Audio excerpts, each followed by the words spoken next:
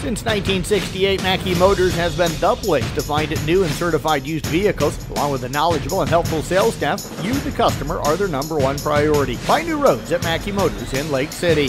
Mackey Motors post-game show continues here on KKRL. Paige Klocke joining us after the Wildcats pick up a 59-42 victory tonight over Paton Churdan. And Paige with a pretty good game here tonight, 28 points, 19 rebounds. And, and Paige, I appreciate you coming up. Um, hard fought game here tonight. You guys are only up eight with about two and a half minutes left. Had to pull away down the stretch here tonight. What was this one like out there? I feel like both teams are really scrappy, and I mean, PC really showed up tonight with just crawling all over the floor, and we just had to be more aggressive out there. Did you anticipate that, and then how quickly did you guys kind of start to match maybe that intensity that they were playing with, or did you match it right off the bat? Not right off the bat. I mean, I think it took us a little bit to realize, oh, we actually got to try a little bit harder here if we want to get the win. Is that something that this team has had an issue with, or do you feel like most of the time you guys come out and play with the intensity you need to right away? Um, it depends, I think, on the day. Sometimes we come out really intense, and other times we struggle, and it takes a little bit for us to get into it. You scored early with a three to tie it, and then you gave you guys the lead with with a free throw after Emma Stream came out and hit a couple of early shots. What did you guys do defensively tonight to try and slow down Stream and Becky Anderson? Um, coach switched us to man, so I think that helped, and she put um, me on Emma. That way I could read her and what she was doing. So I think our man was pretty good tonight. When you switched back over to zone tonight, how did you feel like the zone worker? You're more comfortable just playing man. I mean, I like zone more, but I think we do a good job at man, so I think both work pretty good. What did you see from Emma then trying to defend her tonight? How'd you try to take away what she was doing well? Um, well, they would try to screen us, obviously, to get Emma open. So I just try to read those screens and keep her without shooting the ball around the three. How'd you feel like you executed on the offensive end? You hit a few threes tonight. I think you had you for, for one of those, but did a lot of your damage inside, whether it be on the boards and getting the putbacks or just posting up? Um, yeah, I try to if I'm struggling on the inside, I go to the outside and then vice versa. So I worked on my moves inside the lane. I think I did good with that tonight. What were they trying to do defensively against you? Um, trap me in the lane, double team me, anything they could to make sure I could get in there and score. What's the senior season been like for you so far, and, and where's this team continuing to grow? It's been so fun. I love both of my coaches, and I think we just have a really good bond this year. And I hope that the girls can continue that next year without Vanessa and I.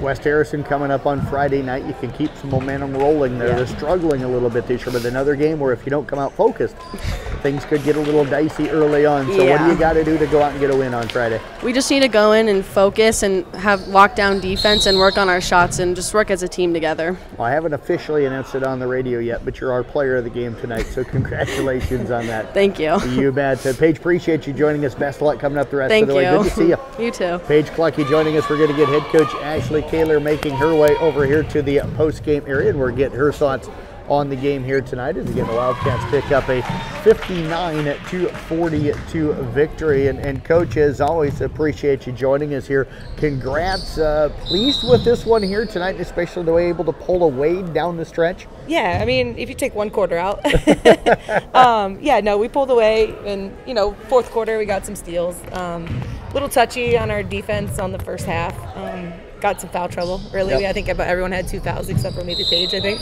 or Liz. Um, but no, yeah, not bad. We got the win that we needed to win. So I mean, that was good to see. It's good to see Paige out there too with 28. That's a big game for her. Yeah, and I had her 19 rebounds. I don't know if that's they're not official, but I had her. that's probably pretty rebounds. close. I feel yeah. like she was right there. Um, I don't know. Yeah, I have to send it to huddle, but it, I I would say yeah, it's probably pretty dang close. So, coach, what did you do differently in the second half to stay away from the foul trouble? Um, well, we, we actually kind of took our press off a little bit on the tap, and then we actually went to man a little bit more. Mm-hmm. Um, I felt like we could match up a little bit better. I felt like our 2 3 zone, they were getting through pretty quickly. Um, so we matched up a little bit better, and we just moved our feet finally, I guess, the third quarter and fourth quarter. Struggled the first half, but that's all right. Offensively, how did you feel like you guys executed here tonight? Um, I felt like we kind of rushed some shots tonight a little bit. Um, I felt like, you know, we forced a couple things that here and there.